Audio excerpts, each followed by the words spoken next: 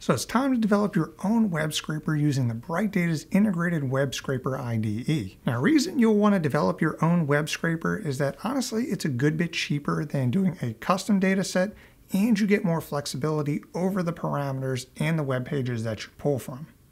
So to get started, we can navigate to the My Scrapers page and click over here to develop a web scraper. From here, you'll have the option to start from scratch or start from an already existing template, which I think is much easier to explain and get started, so we'll get started with the Walmart one. This will bring you to the Web IDE, which you can see is broken down into essentially two parts, the interaction code and the parser code. Now, all of this is done in JavaScript, so you will need a working knowledge of JavaScript if you want to use the web IDE. So the interaction code is essentially going to be what interacts with the web page from proxies to interactions like scrolling. Then the parser code is going to take the interactions from the previous screen and parse through them and get the actual HTML. And you can see this is broken down into two stages, the get products link stage and the get product data stage. So once we have the product links, we now want to get the data from those links. And that is going to be in stage two. So here you can see we are taking the URLs that we got before,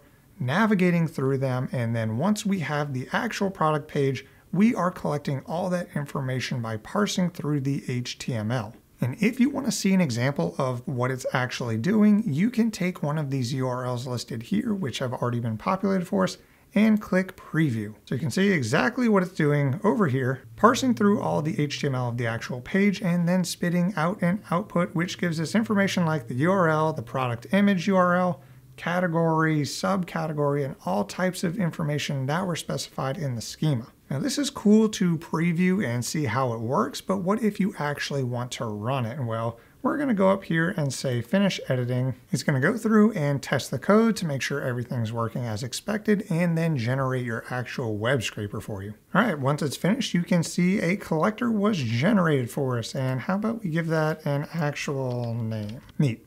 All right, and from here, you can interact with it by initiating it, checking on different versions, and even editing the code. But we want to go ahead and initiate it. So let's go over here and first set up our delivery preferences. In here, you can choose the file format you want to receive. You can go down here and select a delivery strategy, so API download, email, webhook, or even to your cloud storage. And then you can go through and specify all the different notifications that you want to receive. So we're going to stick with API download because I think that's the most useful and the coolest. And then we'll go over here into this tab, initiate by API.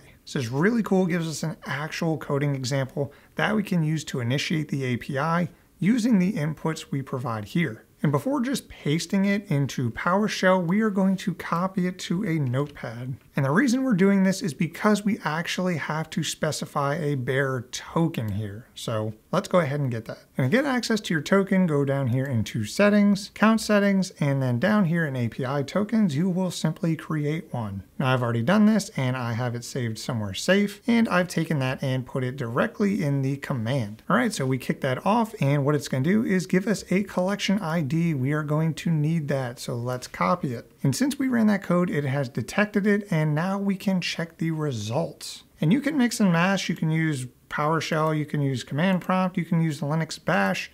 Just for the sake of it, let's try command prompt. So we'll copy this and then we will have to update our token. So once we have that command, we have opened up command prompt, we can paste that and just like that, it is telling us, yep, the job is not finished yet. All right, and now that the collector is finished, when we run our result command, you can see we have all of our results here broken down into a JSON format like we specified. So here's all the information we have on it, the URL, the product image URL, what category it's in, the name of it, the price, descriptions about it, all kinds of information from so many different products that we requested. Now it's cool to see all of this information displayed here, but in most cases you'll integrate this into your already existing code base and be able to parse this using your own code. Now, if for any reason you have trouble with your web scrapers, you can go over to the documentation located over here under resources and the documentation is actually really good. From here, it's broken down by different categories. And for example, if we want to get started with the web scraper IDE, There's all kinds of subcategories here to help us get started. And there's even documentations on the coding. So going into here, we can look at, for example, maybe we have questions on the interaction code within the IDE. Going into here, we'll give you actual coding examples with explanation on what each line is doing and how you can customize it to fit your needs. So with my recent web scraper, you can see that there were 222 page loads and I spent a dollar and 11 cents. Now, how you use it and how often you use it will determine how much you spend, but if you have custom needs, it's recommended to reach out to your account manager to discuss custom use cases and prices.